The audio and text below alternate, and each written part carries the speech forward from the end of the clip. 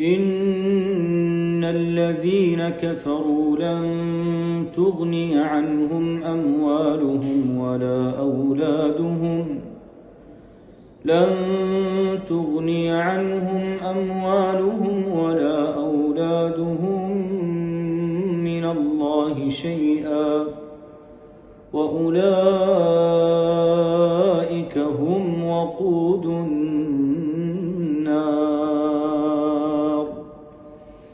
كدأب آل فرعون والذين من قبلهم كذبوا بآياتنا كذبوا بآياتنا فأخذهم الله بذنوبهم والله شديد العقاب. قل للذين كفروا ستغلبون وتحشرون إلى جهنم وبئس المهاد قد كان لكم آية في فئتين التقتا فئة تقاتل في سبيل الله وأخرى كافرة يرونهم يرونهم مثليهم رأي العين.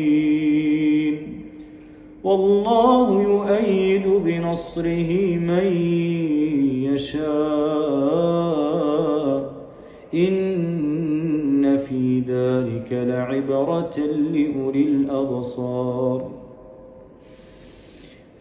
زين للناس حب الشهوات من النساء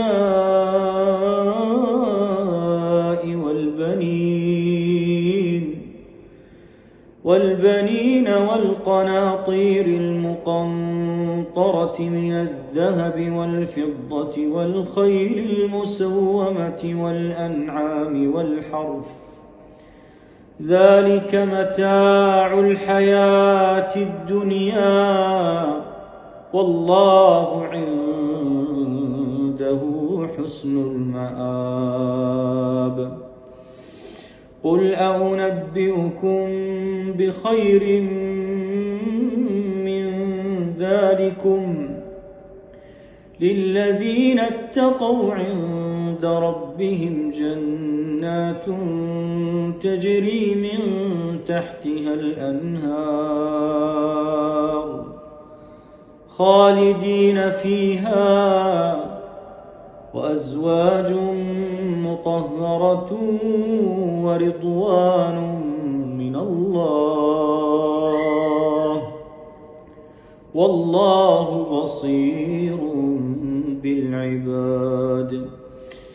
الذين يقولون ربنا إننا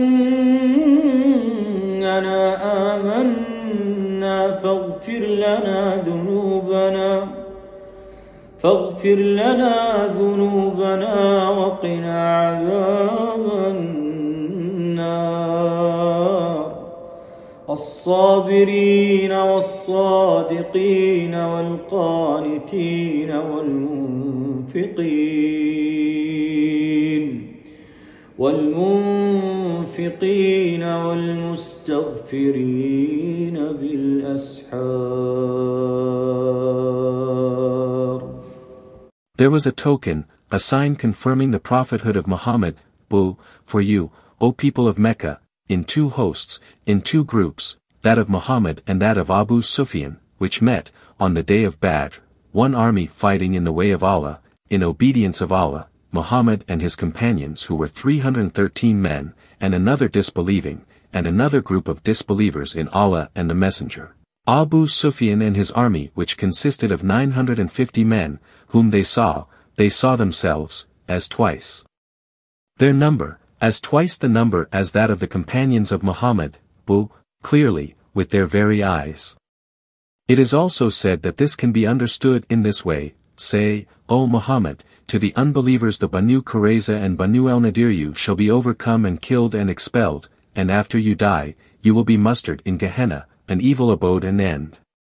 Allah informed them of this two years before the battle of Badr took place. Then he revealed, O Jews! You had a sign for the prophethood of Muhammad, Bu, in the form of two groups that of Muhammad and that of Abu Sufyan who met on the day of Badr. One group, Muhammad, Bu, and his companions, fought in obedience of Allah, and the other group consisted of unbelievers in Allah and His Messenger, Abu Sufyan and his group. You saw with your very eyes, O Jews, that the unbelievers were twice the number of the companions of Muhammad. Thus Allah strengtheneth with his succor whom he will, i.e. Muhammad. Lo!